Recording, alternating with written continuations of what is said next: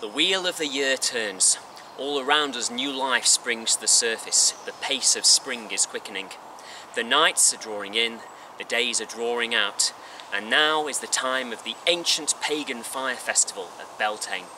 Towards the end of April, our ancient ancestors used to burn bonfires across the landscape in order to drive out the dark spirits of winter. They would collect their last embers and put them into special pouches for protection throughout the year. And some souls even rose early on the morning of the spring equinox to go out into the meadows and collect the early morning dew. It was believed to have special powers, and applying it to your face would bring on youthfulness.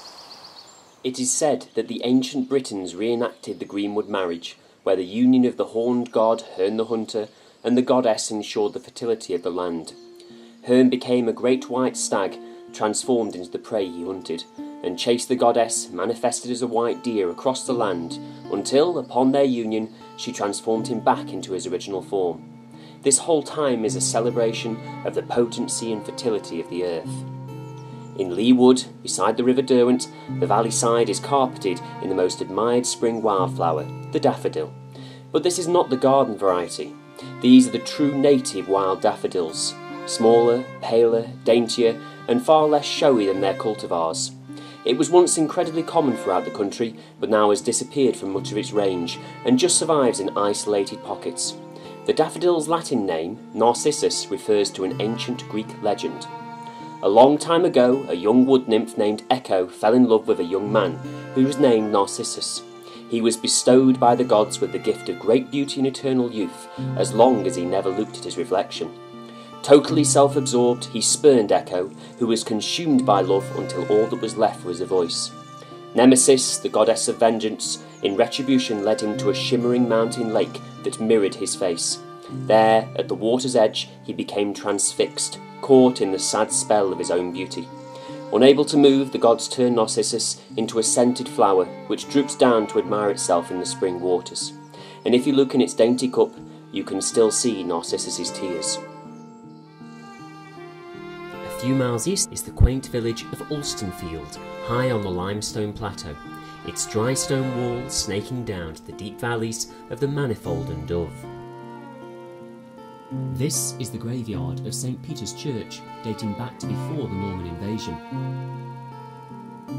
It has a true botanical highlight, the oxlip. A native of East Anglia, the Reverend Purchas moved to Alstonfield in 1870 and decided to bring some of the flowers with him from his native Suffolk. Amazingly, 150 years later, this beautiful flower can still be found in the tumbled ruins of the old vicarage orchard.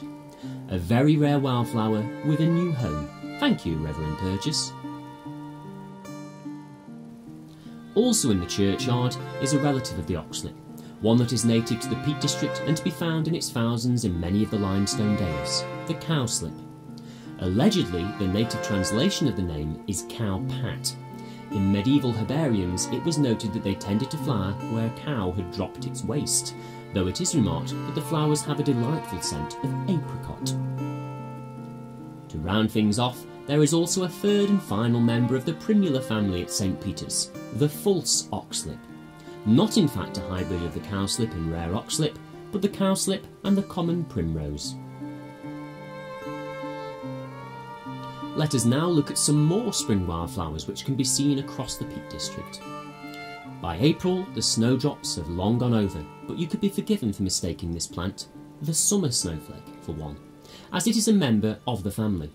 But look closely and you can instantly see a key difference, the tiny spots at the end of each outer petal.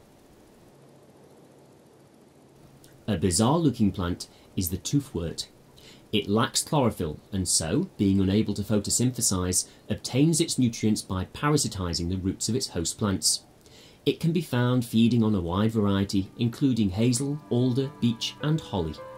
Its common name derives from its flowering stems, which have been said to resemble a row of teeth. An even smaller flower is moschatel, bearing its five small green flowers atop a short leafless stalk. This unusual appearance has lent to its folkloric name Town Hall Clock. In the heart of the Peak District is the National Nature Reserve of Lathkill Dale, and two of our more unusual spring flowers grow on its slopes. This is the smallest of our forget-me-nots, the early forget-me-not. Its radiant blue flowers never reach more than a few millimetres wide.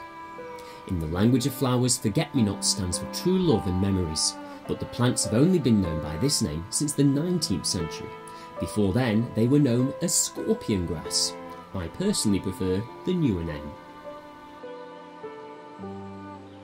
Growing with the forget-me-nots is the extremely rare species wall whitlow grass, now confined to a few of the more pristine limestone dales.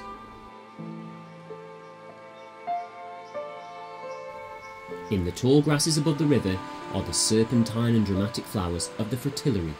Dark purple and sometimes white, the wildflower is also known as snake's head. Once, thousands filled hay meadows across middle and southern England. However, modern agricultural practices have led to a sharp decline. You cannot see vast swathes in the Peak District, but in special spots you do get glimpses of this elusive flower. When I began walking up Lathkill Dale on this day in late April, it was beautiful and sunny, but the weather quickly changed and sent a sharp reminder that winter can stay very late in the north.